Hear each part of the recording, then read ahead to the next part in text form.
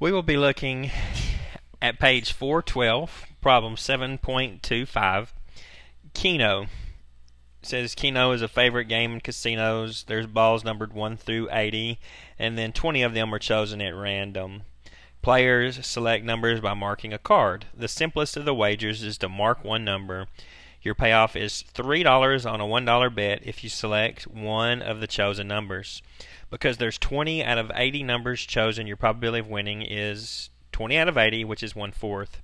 A says, What is the PDF, the probability distribution of a payoff X on a single play? Alright, so A part, we're going to construct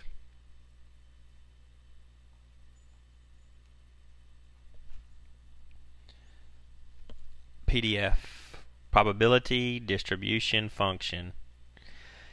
It says on a single payoff on a single play. So we will let x x is our random variable rv x is our random variable x is going to equal payoff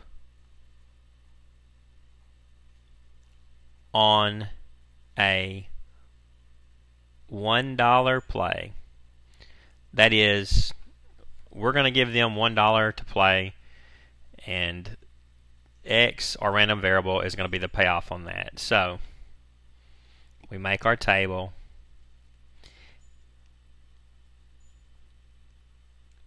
X, probability of X.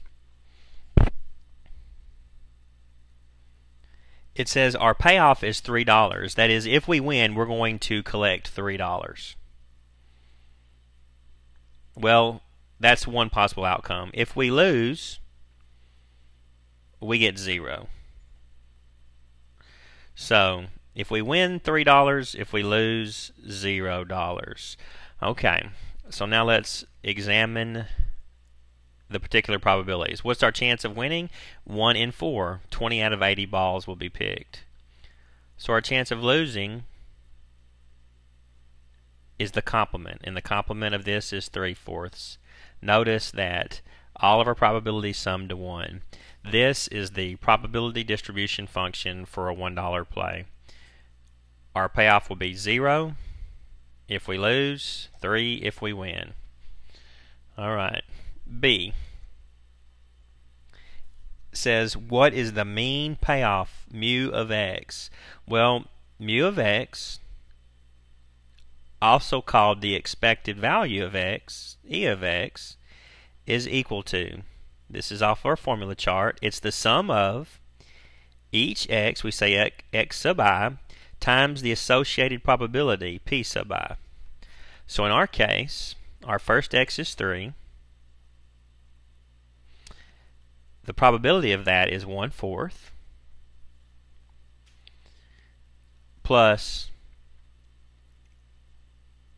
second x is 0 times 3 fourths. Thus, 3 times 1 fourth is 3 fourths. 0 times 3 fourths, clearly 0.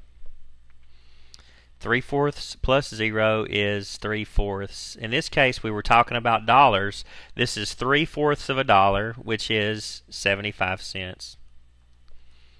So, our expected value, that is our payoff in the long run on a $1 play, is 75 cents. That means for every $1 we're putting in, we're getting 75 cents back. As you can see, that's not a profitable situation for the player. That's how the casino or whoever is holding the Keno game makes money. C. In the long run, how much does the casino keep from every dollar bet? C. Since the casino charges one dollar to play and the expected value of the payout is 75 cents. Then the casino. Then the casino.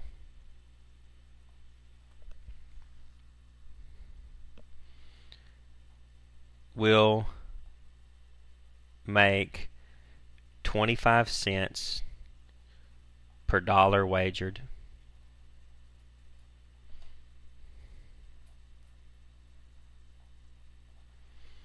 So clearly that the game Keno is a very profitable game for the casino.